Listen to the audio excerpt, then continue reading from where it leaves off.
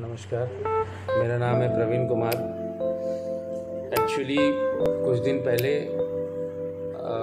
Friday के दिन मैंने कुछ वीडियो पोस्ट किया था, जो कि सरकार के ऊपर मैंने बहुत कुछ बोला था, जो कि अभी का सिचुएशन देख के मुझे नहीं कहना चाहिए था, वो बहुत ही गलत बात है। एक्चुअली सरकार जो भी कुछ करती है, वो अच्छी के लिए ही करती है, हमारी सेफ्टी के लिए करती है। मेरा मकसद ये था कि मतलब टूरिज़्म को सपोर्ट करना, लेकिन एक्चुअली देखा जाए तो अभी के हालात के हिसाब से आदमी का सेफ्टी बहुत ज़रूरी है।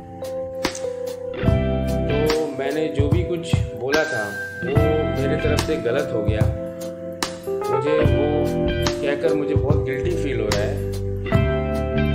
सरकार जो भी करती है, अपने तरफ़ से, हमारे लिए पब्लिक के लिए, वो अच्छी करती है, वो सही करती है। लगता है कि मैं गलत हो गया, क्योंकि जो भी सिचुएशन चल रहा है, कोरोना इतना ज़्यादा बढ़ गया है, वो चीज़ को सोच के मुझे वो वीडियो पोस्ट नहीं करना चाहिए था। मेरे से बहुत बड़ा गलती हो गया, मुझे बहुत गिल्टी फील हो रही है। इसके लिए मैं सही दिल से माफ़ी माँगता हूँ, मुझसे बहुत गलती हो गई।